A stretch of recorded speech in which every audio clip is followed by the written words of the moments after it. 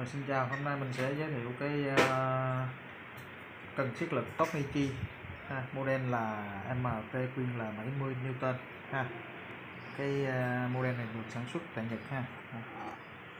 À, Đây, thì nó được uh, để trong cái hộp như thế này ha. Đây là cái model mới của hãng Toknichi. Mở hộp ra thì chúng ta thấy đây có cái uh, hướng dẫn sử dụng ha Vâng, sử dụng à, bằng tiếng à, Anh và tiếng Nhật ha. Đây. Các loại vít nó, nó bắn ha. Và cái đó là cái uh, giấy uh, hiệu chuẩn xuất xưởng của hãng đây.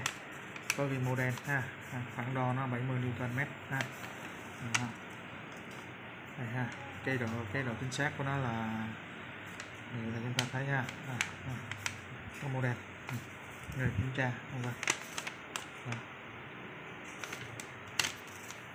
thì đây, còn đây là cái uh, À, thước chính đây ha. Chúng ta thấy thước chính được để trong hộp đây ha. Có đây có khắc cái chữ à, đó đây ha. Model này ha. Model tên hãng. À, cái tem ha tem à, hiệu chuẩn. Đó. Đây là cái đầu cái đầu tiếp của nó ha. Đó. Make in Japan số series à, còn đây là cái chúng ta thấy ha cái giá trị chúng ta xét ha. À, còn đây là cái cái chúng ta khóa cái bánh cốc lại ha. Đó, đây cái bánh cốc chúng ta khóa lại. À, khi chúng ta dặn tới một cái giá trị thì nó sẽ à, báo cái tiếng à, tạch tạch. Ha tức là tới cái giá trị lực chúng ta set. À, đây là cái chỗ chúng ta bạn đây ha set lực. Ha đây là cái thang lực này ha. Đây chúng ta thấy ha, cái thang lực đó. cái thước uh, chính ở đây này ha. Đó